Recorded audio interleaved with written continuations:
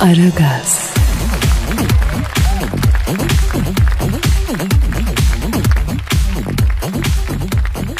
Günaydın, günaydın, günaydın, günaydın. Yani Kadir Çöptemir ve Pascal Numa denen El Papito de Şokola hizmetinizde. Ara gazdasınız efendim yanlış olmasın. Güne keyifli başlamanın e, yegane adresi biliyorsunuz burası. Kadir ne yapıyorsun? Yavrum lansman öncesi kaçan fırsat büyük olur. Bu fırsatı kaçırmayın diyorum. Kadir şşt iyi misin ya? Deniz manzaralı daireler. 2 artı 1 fiyatına sıfır faizle 5 sene ödemeli. Kadir ne oluyor ya? Üstelik ara ödemesi. Siz alın evlatlarınız otursun. Lan Kadir Ha ne oldu? Ne oldu? Ne oldu? Ne oldu? Ne oldu? Neredeyim? ne diyorsun abi ya? Sabah sabah ya. Ee, ne diyorum ben? Ne diyorum? Ne oldu ki? Ne demişim ben? Ne dedim ben? Ya Kadir sen artık var ya açılış falan yapma. Dikkat ediyorum. Kaç gündür acayip acayip şeyler soruyorsun ya. Ya haklısın Pascal. Bak sabahın ilk saatleri ya. Beyin rektefiyede çalıştığı için arada avans duruyor ya. Bak ya yeni var ya astrofistin konuşmaya başladım. Ya Pascal şöyle oldu. Ben Aragaz reklamı gibi başladım. Oradan inşaat reklamına bağladım. Hani bu radyoda emlak, televizyonda emlak, gazetede emlak çok böyle onların reklamı olunca ondan sonra birden o inşaat reklamlarına kaydım. 2 artı 1 daire, 3 artı 1 falan filan diye. Ondan sonra araya o karıştı yani. Mevzu bu. Senin kafa var ya teyp gibi hemen rekord ediyor. Ya bir duyduğumu bir daha unutmuyorum Pascal ya. Mesela seninle ilk tanıştığımızda sen bana ne dedin? Ne dedim? Kadir abi nasılsın ya benim elimden tut babacığım ben de bir radyocu olayım diye. Hadi lan. Tabii abi. Sonra işin görüldü ya. İşin görüne kadar tabii. İşin görüldükten sonra London çekmeye başladım. Çok gördüm ben bu filmi Pascal. İnsanoğlu çiğ süt emmiş. Namkör, namkör. Kadir He. aslan yavrusu pişmiş süt mü içiyor? Ne alakası var ya? Kardeşim aslan yavrusu nonkör olmuyor mu? O da çiğ sütü yiyor? Pascal saçmalama lan. Aslan yavrusu, insan yavrusu neler konuşuyoruz abi biz sabah sabah ben anlamadım ya. Aman sen ki var ya sen sabah sabah düzgün konuşuyorsun. Pascal sen ben buraya kendimiz için gelmedik yavrum biliyorsun. Biz buraya halkımız için geldik. Bu mikrofon halkımız için. Sen ben yok Pascal biz varız ya. Kadir arkamız var ya bence Allah uyuyor. Hayır Pascal halkımız çoktan kalktı. Beton ormana doğru yola koyuldu. Ekmek parası kazanmaya gidiyor. Beton orman yolunda ekmek kavgasına giden halkımızın yüzünü güldürmemiz lazım Pascal. Güldürürüz. O iş bizim. Bravo Pascal aferin yavrum. Sorumluluklarına müdrik insanlar olarak lütfen Twitter adresimizi verir misin? Pascal Askışki Kadir. Pascal çizgi Kadir Twitter adresimiz. Tweetlerinizi bekliyoruz. Ara gaz emrinize amade. Bak biz sorumluluğumuzu yerine getiriyoruz. Siz de sorumluluğunuzu alın tweet atın bize öyle mi Pascal? Amin Kardo. Aferin. Ya Doğrusun. beni boş verin beni. Ben bu evin oğluyum. Ama şu garibi sevinin. Bak Aziz Mübarek Cuma günü bu Pascal seferi sayılır. Seferinin duası makbuldür. Tweet atan da hayır dua alır bu çocuktan. Hem seferi hem cuma günü. Zor işiniz kolaylaşır. Ummadığınız yerden rızık gelir. Garibanı sevindirmek gibi bir şey var mı dünyada ya? Kadir mi? Sen hiç bilin gibi. Gariban gördün mü? E görmedim tabii. Gariban biraz ezik olur. Senin ense kulak yerinde maşallah canım benim. E o zaman? E o zaman başlıyoruz. Efendim haftanın son günüsü sıkın dişinizi yarın yorganı tepikliye tepikliye dönerekten guz guz diye hırlayaraktan sabah uykusu uyumaya az kaldı. Belki yarın çalışanlarınız da var içinizde ama pazar günü yatıp uyumanız işten bile değil efendim. Hadi işiniz gücünüz rast gelsin. Davancanızdan ses gelsin. Hayırlı cumalar. Aragaz,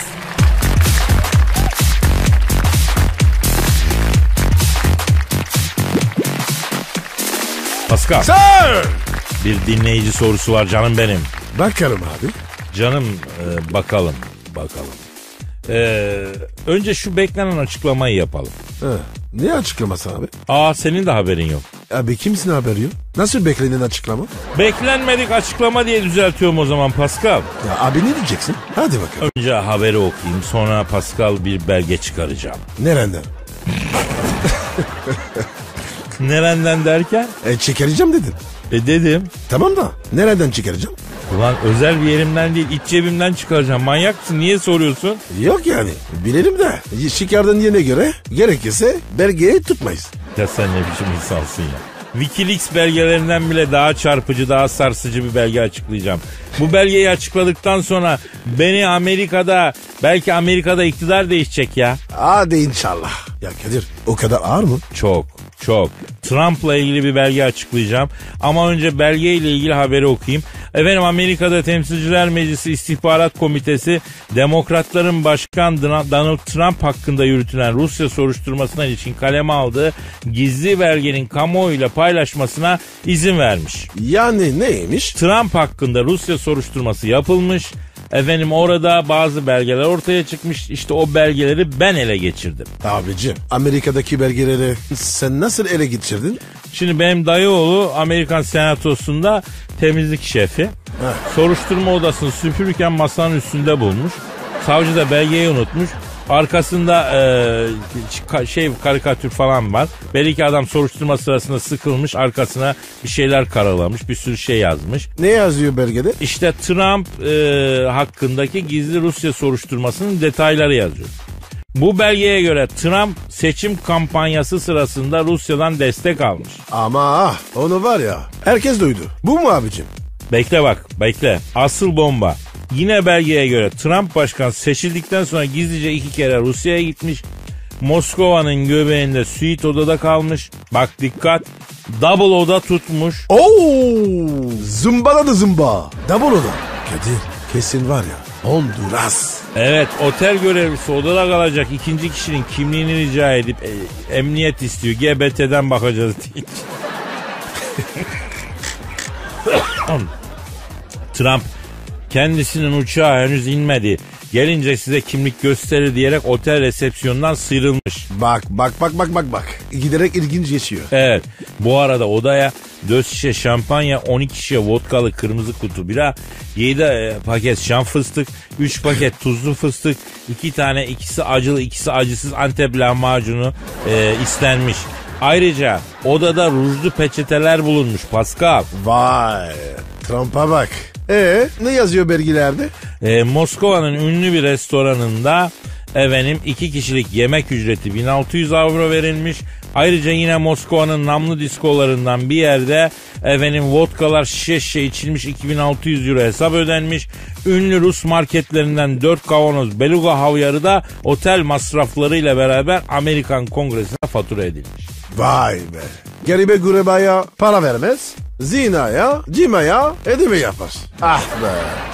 Trump'a bu masrafları sen niye yaptın? Bunlar devlet adamı harcamasına benzemiyor diye sorulunca lan ben komple sizin başkanınız değil miyim?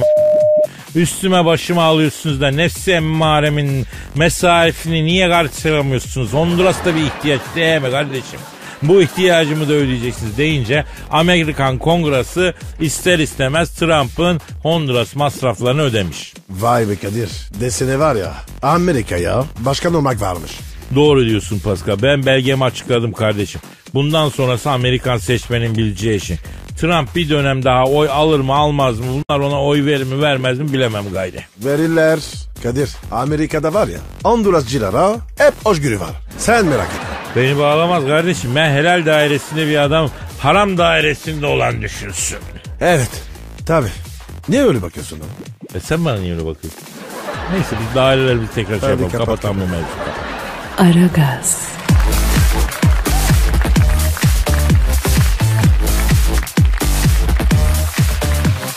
Hanımlar beyler aziz mübarek cuma günü Aragaz devam ediyor. Pascal burada mısın?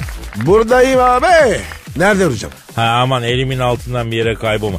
Bu aralar hareketlisin dikkatimden kaçmıyor. Çok hareketlisin çok oynaksın. Her zamanki halim. Çat buradan, çat kapartısında. Bildim bildim süpürge. Hayır ben... Peki bu reklam ve pazarlamaya çok hoş kızlar geldi yine. İvil ivil kurtlanmış gibi yerinde ırgalanıyorsun. Tüymek için fırsat kolluyorsun. Bu da gözümden kaçmıyor onu da biliyorsun ama değil mi? Biliyorsun yani. Abi dur. Bunlar son demler. Bak tadını çıkarın. Öyle deme Pascal. Bak bu e, mavi haplar çıktı mertlik bozuldu. 80 yaşındaki emmi tekrar erkek sıfatına girdi bu mavi haplar yüzünden ya. Aman abi. Yine de var ya dikkatli olmak lazım. Gün gelecek biz de mutfağa göreceğiz. Ya biliyor musun aslında bunu hiç konuşmadık. Neyi? Bu erkeklere yönelik böyle medikal ürünler aslında insanlığın doğal akışına aykırı ha söyleyeyim onu. Niye öyle dedin ya? Senden hiç beklemezdin. Şimdi abi erkek belli bir yaşa gelince sağdan çekilmeli ki ortalık genç aslanlara kalsın. Yani sağdan çekilmesi ortalığı genç aslanlara bırakması gerekirken bu mavi haplar yüzünden yaşlı aslan sürekli avlakta kalıyor. Ne oluyor? Onun bunun maskarası oluyor. Halbuki eskiden neydi? İzzetle kenara çekilen erkek saygı görürdü. Ununu elemişti, eleğine asmıştı. Şimdi hipster gibi giyinmiş 70 yaşında adamlar s- affedersin manita kovalıyor ya. Nasıl olacak bu işler? Kardeşim herkes kendinden sorumlu. Bize ne ya? Ya bize ne tamam bize ne de yani.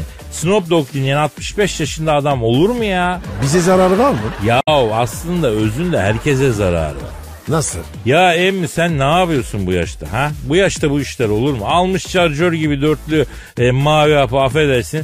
Kendini Bengal kaplanı zannediyor ya. Ya yapma bu işlere bir önlem alınsın ya. Kadir saçmalama. Saçmalamıyorum saçmalamıyorum. Bak reçetesi satılmasın bunlar. Kadir yapma. Neden yapmayayım? Kardeşim doktora mı gideceğiz? E, biz niye gidelim ya lazım mı ki? Değil de bir gün lazım olacak. Ya o günde gider doktorda yazdırırız ya. Bu nedir arkadaş?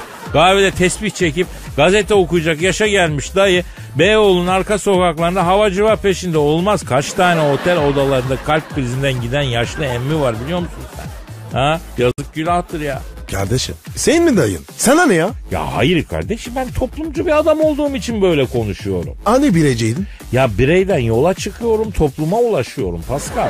Ne zaman? Bunu ben de bilmiyorum bir zaman veremeyeceğim. Abi ne çabuk ya. Daha bu sabah bileceydin.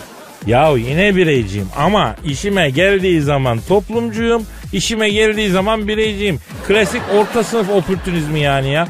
Yani aydın kafası anladın? Yarı aydın kafası. Şu an var ya kendine hakaret ediyorsun. Yavrum ben kızım sana söylüyorum gelin sen anla diyorum. Sen anlatsana ya. Senin kızın mı var lan? Vay çaka. Demek ki herkesten izledin.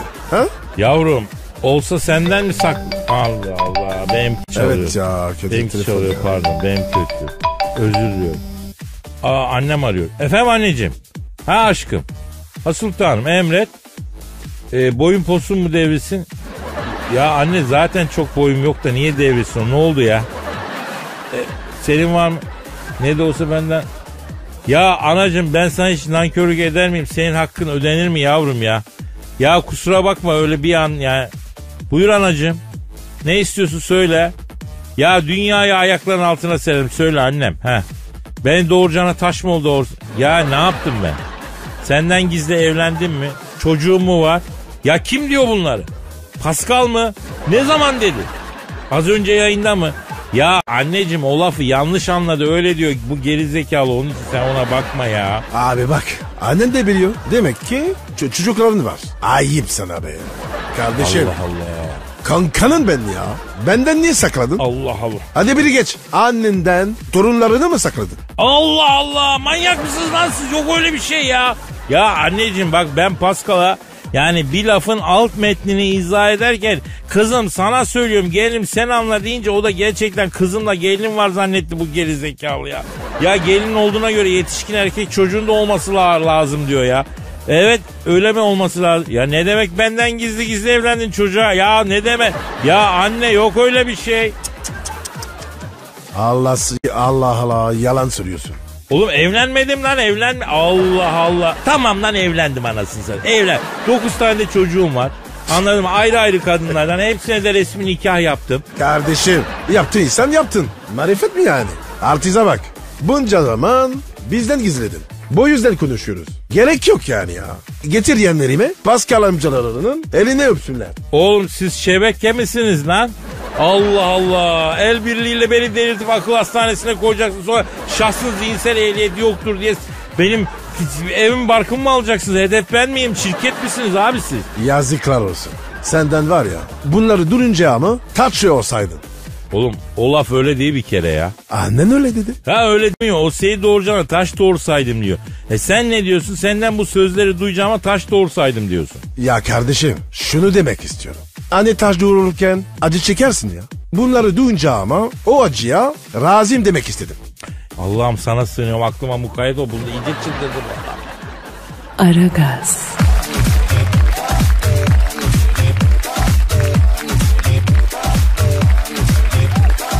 Pascal Gel yani.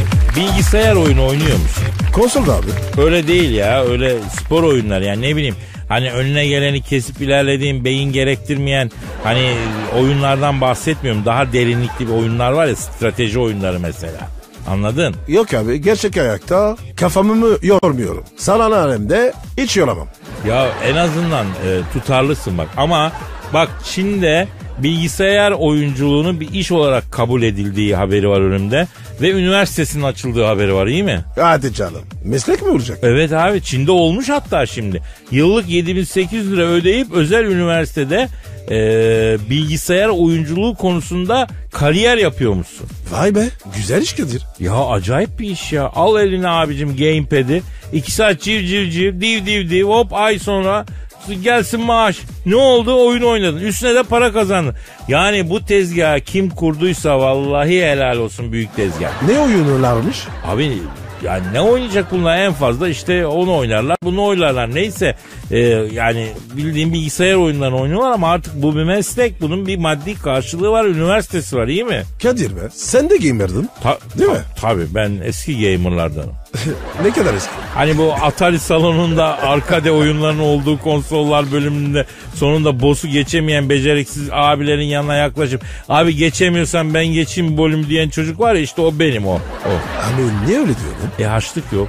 Atari salonunda jeton alamıyorsun ama oyun oynamak istiyorsun. İster istemez böyle e, keriz silkeliye silkeliye oyun oynuyorsun. Bak ben sana bir şey söyleyeyim. Bir tane bilgisayar oyunu var. Ta 1980'lerin sonunda yapıldı.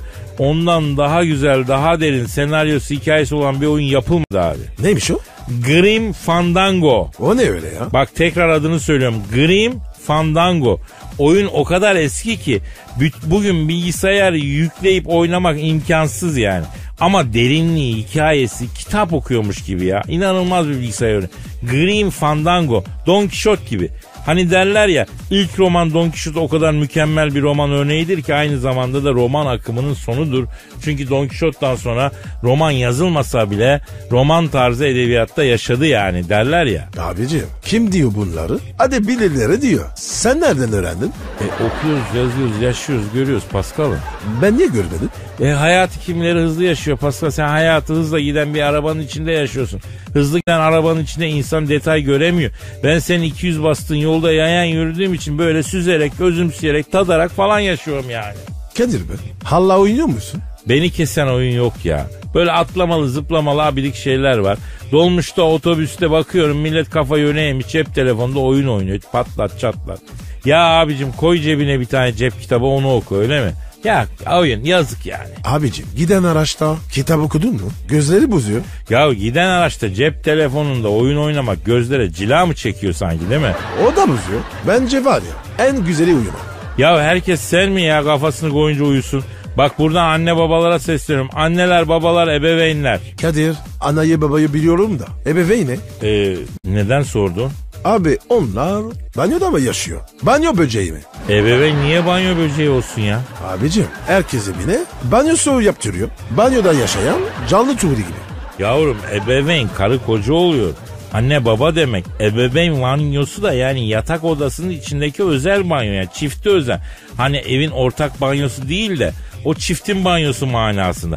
Hani ev ahalisine faça vermemek adına. Ya neler oluyor zamanlı zamansız banyo yapılıyor gibi. Ev ahalisi öyle düşünmesin yani. Allah Allah. Abi zamansız banyo mu var? Canım ne zaman isterse o zaman yaparım. Yavrum e, gusül diye bir takım detay var. Yani sen e, ecnebi olduğun için şimdi anlatsam uzun süre zaten anlamazsın. Yalnız bilgisayar oyunundan ebeveyn banyosuna ve gusüle nasıl geldi bu muhabbet ya? Aragaz,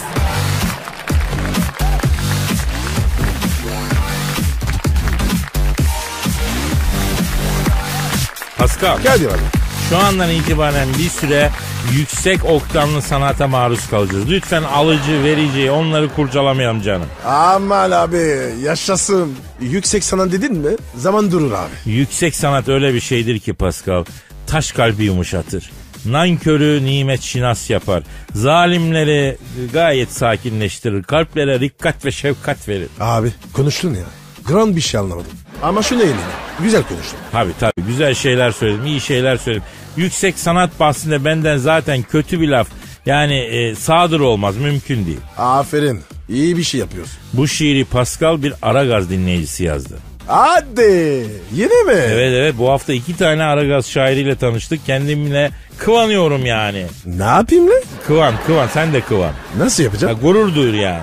Niye abi? Abi artık Aragaz şairi yetiştiriyor ya. Bundan daha kıvanacak, gönenecek bir şey var mı? Yok mu? Yok. Kim yazmış abi? Yasin kardeşimizin yazdığı bir şiir. Efendim Yasin Demir kardeşimiz yazmış. Ee, Haybeci şiir ekolünden bir şair. Müsaadenle bir duyguya girip okuyacağım kardeşim. İyi bakalım abi. Dur giriyorum. tamam girdim.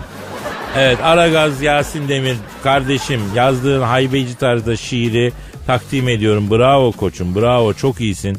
Efendim bu şiiri serviste giderken 15 dakikada yazmış. Ve sabah erken kalkmak zorunda kalan bütün emekçilere ithaf etmiş. Var olsun Yasin. Alarm çalar ben ağlarım kalkarım. Yatak sıcak oda soğuk ne yaparım? Ters yatmaktan uyuşmuş sol yanım. Kalkamam bırakamam yatağımı.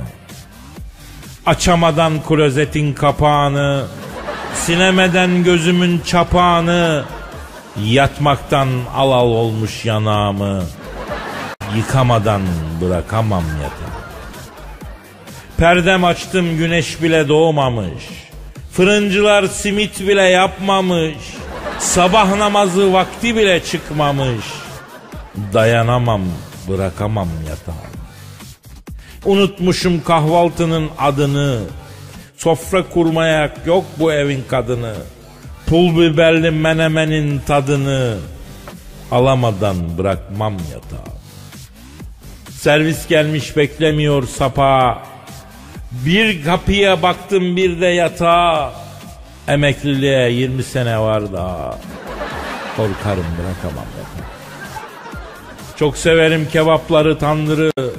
Sabah körü üşütmesek baldırı. Daha da indiremedim çadırı. Ayrılamam bırakamam yatağı. Nasıl buldun Pascal? Şahane olmuş abi. Senin kadar. Evet evet Yasin bak açık söyleyeyim. Yasin'i ben de çok olmuş gördüm. Yasin seni Aragaz'ın özgür şiir kontuğu ilan ediyorum canım. Kendi prensini kur, şiirlerini yaz. İç işlerine bağımsızsın, dış işlerine bize bağlısın. Devamlı şiir gönder. Yalvarıyoruz, rica ediyoruz kardeşim. Aragaz,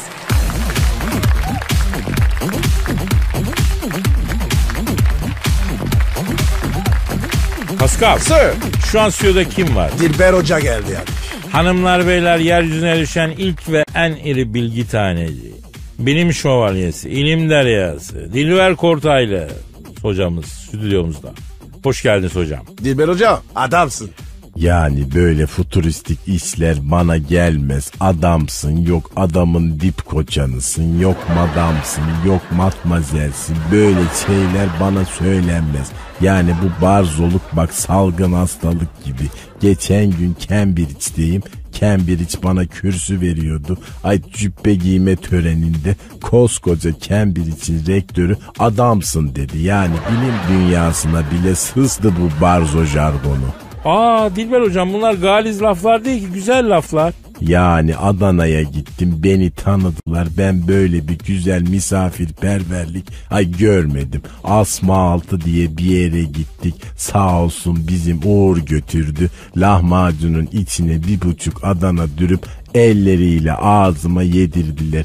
Biri geldi o Dilber Hoca gelmiş ne haber dedi şimdi bu iltifat mı yani?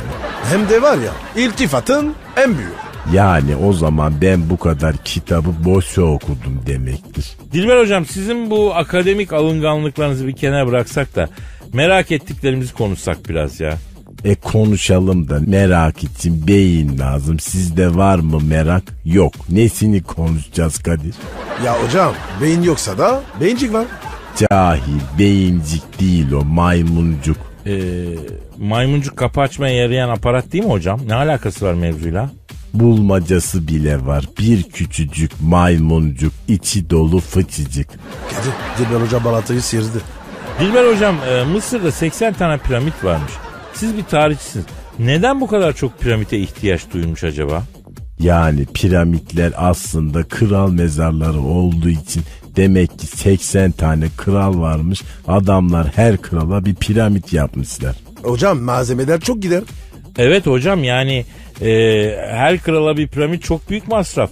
İşçilikten malzemeden çok para gider. E bir de bunun hierografi var, dikili taşı var, süslemesi var, bezemesi var. Mesela dörder dörder gömseler 20 mezarla biterdi bu iş. Tabii abi. Arklın yolu bir. Dörder dörder gön. Ne olacak sanki?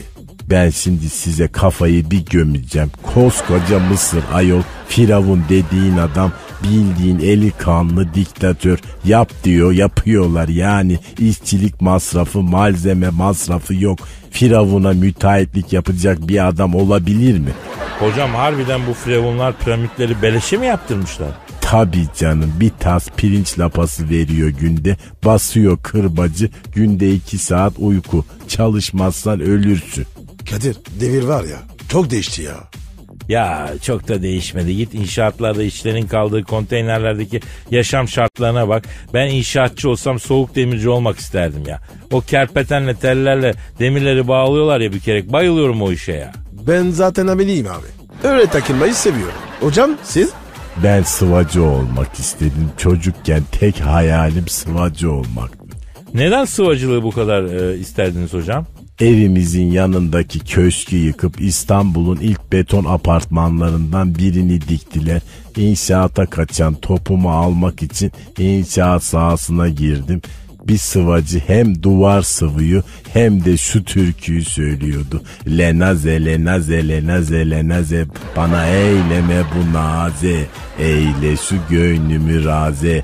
Olmuşam aşkın maraze lenaze lenaze. Bu türküyü duyduğumda sıvacı olmaya yemin ettim. Hocam ya bu türkü senin niye bu kadar etkiledi? Bilmiyorum ama o lenaze lenaze var ya beni çok etkiledi. E sonra neden sıvacı olamadınız hocam? Ay IQ'm izin vermedi. Aykut kim? Aykut değil cahil. Ayku, Ayku. Yani evet tarihçilerin duayeni oldum ama kaba sıvacılık içimde böyle kanayan bir yaradır. Ah sıvacılık tam bana göre isti. Çocuklar çıkışta beni bir inşaata götürün de biraz mala vurayım duvarlara. Beraber yaparız Dilber hocam az kaldı. Aragaz,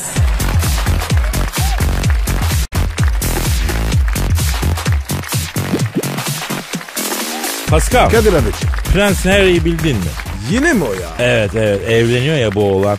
Artist bir kızla hani Evlensin abi. E bizi çağırdın mı düğüne? yok çağırmadı ama eski manitaları çağırmış. Nasıl, nasıl riski var? Ya daha önce çıktığı e, Cressida Bonas ve Chelsea Devi adlı hatunları düğüne davet etmiş iyi mi? Ama telefon alıyor. Ay benimki ötüyor benim. Alo. Aleyküm selam kimsin? Ha, bayan Meghan Markle mı? Allah Allah kimsin? Ya e, anla ben tanımıyorum. E sen Prens Harry'nin evleneceği kız mısın? Ha e niye ağlıyorsun bacım? Evet. E, a boş ver ya. Ne diyor? Prens Harry'nin evleneceği kızım ben diyor. On on ağlıyor. Ne arıyor ya? Bir şey mi demiş biri? Yok yok bu Prens Harry eski manitaları düğüne çağırdı diye gelin hanım ayar olmuş. Kadir abi diyor eski lerini diyor ben düğünüme çağırıyor diyor. Ben bir çocuğa varmakla hata mı ediyorum Kadir abi diye ağlıyor. Yok be kızım. Manyak mısın? Ne? Sakın. Bak sakın. Nişan atacağım ben Kadir abi diyor. Yapma kızım. Boş ver ya. Ya Megan bu zamanda prens koca bulmuşsun kız deli misin? Eski sevgililer çağırdı diye nişan mı atılmıştı ya? Eski manitalar düğüne gelince çık ortaya döneli döneli oyna. En sonunda prens bana kaldı. Ellam nispet olsun de. Bırak onlar kıskansın gı. Bravo Kadir. Arkadaş dünya ne hale geldi ya. Erkekler kadınlara akıl veriyor ya. Efendim Megan. Evet. evet. Ya eski kuşak olur o kadar. Ne diyor Kadir? Kraliçe diyor bana kaynanalık yapıyor diyor. Ne zaman Buckingham Sarayı'na gitsem diyor. Dört sepet çamaşır çıkarıyor, ütületiyor. Belim bıkınım koptu ütü yapmaktan diyor. Kardeşim o kadar olur. Köprünü geçene kadar ay ya dayı diyeceksin. İdare et. Alo Megan efendim canım. Evet. Ya bak o kötü. Ne diyor? Kocamın analığı da diyor bana şimdiden zulmediyor diyor. Kocamın alalı? Ya O ne demek ya? ya bu Prenses Diana öldükten sonra Prens Charles çocuklu aşkıyla evlendi ya o tipsizle. Ha? Üvey kaynanası oluyor o tipsiz bunun ya o zulmediyor. Abiciğim o ne demek ya? Üvey kaynana. Kadir be. Bu kadınların kafası çok karışık ya. Ü- üvey kaynana falan. Abi kadın olmak kolay değil. Bak nelerle uğraşıyor. Alo Megan bak şimdi sen Prens e, Henry'nin yanına git. Şöyle hafif erotik bir selfie çek. Ondan sonra da Whatsapp'tan durum güncellemesi yap. Bütün dünya magazini şöyle bir yıkılsın. Bak sen gör o eski manitaların esamesi kalıyor mu ortada? Ya Kadir sen var ya tam kadın olacak adamsın. Ya bak bir şey söyleyeyim. Kadın olsam var ya Pascal. Şu aklımla kadın olsam bu dünyayı serçe parmağımla dönzertirim. Bak ben sana söyleyeyim. Kadınlar kadın olmanın avantajlarını kullanmayı bilmiyorlar ya. Prens Henry ile nişanlanacağım var ya o Buckingham Sarayı'nın benden izin almadan sinek uçması mümkün değil ya. Abi öyle diyorsun da senden büyüğü var. İn prensin karısı. Ya kraliçesi gelse ne olur? Ben o Buckingham Sarayı'na gireyim bir ayda kraliçe kocamın lehine tahttan feragat eder. Ben kocasını kalkındıran kadınlardan olurdum Pascal. Anlamadım abi. Yani kadın olsam o kadınlardan olurdum. Ha. Hani kocasını kalkındıran, ihya eden kadınlar var. Koca uçak gibi ya. Ona binersin kullanırsın. O çabalar yükselir. Sen de onunla beraber zahmetsizce yükselirsin. Bunu böyle yapmayan kadın bir yerde hata yapıyor ben sana söyleyeyim. Bravo Kadir. Ha. Çok incetiyor. Ha, efendim Megan. Ha, bana ne teklif ediyorsun? Mentörlük mü? Nasıl? Ha, olur canım. Olur. Parasını konuşalım ona göre. Ha, Prens kocana da söyle bana vatandaşlık versin. Bir de Buckingham Sarayı'nda güzel bir odaya yerleşirim ben. Müşavir olarak da Pascal Saray'da işe alırız. Kadir'im de. Allah razı olsun. Sayende var ya İngiltere'de ekmek sahibi oldum. Ha yeni gelin Meghan Markle mentor koç oldun Pascal. Erkeği yöneten kadını perde arkasında yöneten adam olarak 5 seneye kalmaz İngiliz tahtı. İlk Türk ve Müslüman kralını görür ben sana söyleyeyim ya. Kim lan o? Lütfen. Müstakbel kral birinci seksi Kadir ya. Kim o ne demek? Buckingham Sarayı'na desise ile gireceğiz. Orada ile ve desise ile tahtı ele geçireceğiz. 150 bölüm muhteşem yüzyıl izlemişim ben ya.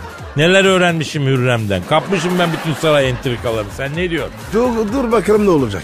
Ha bir de üstüne Game of Thrones izlemişim. İngiliz tahtıyla aramda sadece birazcık bir şey kalmış ya. Yo Haynes olacağım kardeşim. Af Kadir o kadar dedik. Sabah aç kanala program yapmayalım. Bak saçmalıyorsun. E bekle gör. Aragaz,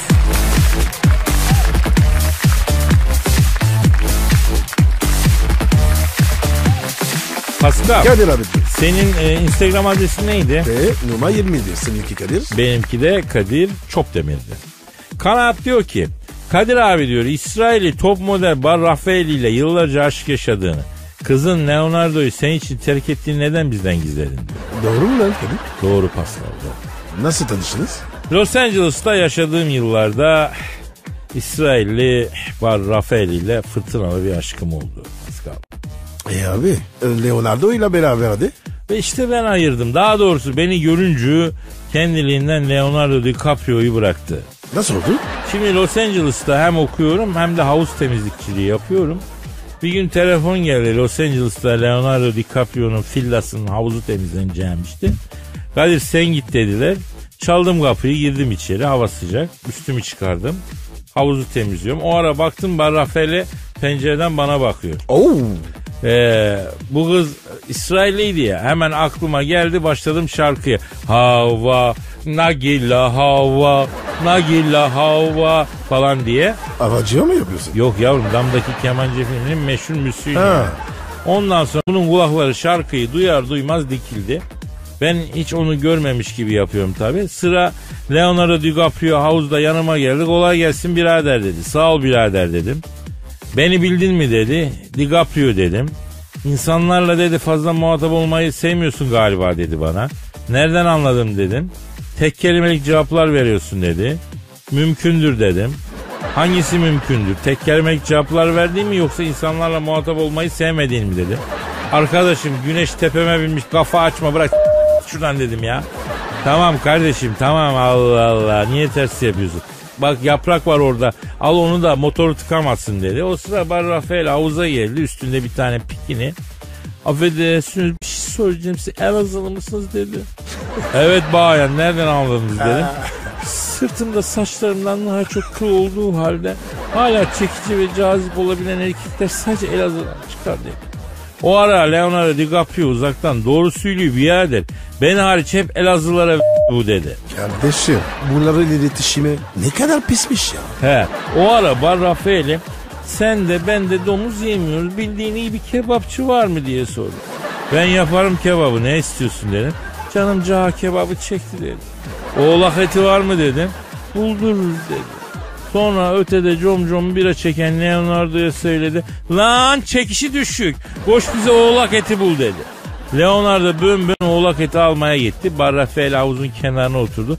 Böyle ayaklarıyla bir iki tane sırtım havuzdan su sıçratmaya başladı. Oo cilve mi? Ya cilve ki hem de top model cilvesi. Hüs oynama kız. Elazığlı'ya güneş altında şaka yapılmaz dediysem de dinlemedi. Ben bunu sırtıma vurduğum gibi içeri götürdüm. Niye? Ee, yaramazlık yaptığı için babacık onu cezalandıracak diye. Ha. Ne kadar zaman geçti bilmiyorum. Tak kapı açıldı. İçeri Leonardo DiCaprio girdi. Bizi gördü. İçimden eyvah dedim. Leonardo babacığı onu cezalandırırken gördü. Ya pardon ya dedi Leonardo odayı boş sandım kusura bakmayın dedi. Geri git geri gitti kapıyı kapadı. İçeride açtı PlayStation oynadı. Puh geniş meseple. Utanmaz. Kardeşim ben bu DiCaprio'yu var ya hiç sevmezdim. Aradan yine bir süre geçti. Ben babacık olarak hala yaramaz Rafael'i cezalandırıyorum. Tak kapı açıldı. İçeri George Clooney, Brad Pitt, Johnny Depp girdi. Arkalarında Leonardo. Abi işte bu alın abi bunu ezin abi bunu diye. Meğer Leonardo içeride düşünüp düşünüp hırslanmış. Kendini gaza getirmiş. Hollywood'dan arkadaşlarını çağırmış. George Clooney cebinden kelebek çıkardı. Brad Pitt nunchaku çıkardı. Johnny Depp zincir çıkardı. Sallamaya başladılar mı bunlar? Sen, sen ne salladın? El salladım. Yemedi mi? Yer mi lan? Ortaya alıp badem ederler adamı. Zor dar kaçtım orada. İyi yapmışsın abi. Erkekliğin tamamı kaçmaktır. E hadi o zaman biz de kaçalım ya. Zaten hafta sonu gelmiş inşallah. Hafta sonunuzda iyi geçer. Efendim hafta sonunuzda gönlünüze göre geçsin de pazartesi günü nasipse kaldığımız yerden devam edelim. Öyle mi Pascal? Aynen öyle abi. O zaman paka paka. Bye bye. Pascal, Oman, Kadir mi?